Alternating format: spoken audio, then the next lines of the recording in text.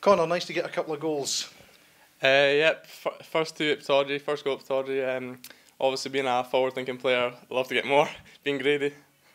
Frank Ross laid the cross right in your, your head for the first one, but the second one, really good left foot strike from the edge of the box. Uh, yeah, first one, great bit of skill for Frank, and uh, don't score many on my head, but uh, I've got up there and uh, directed it in.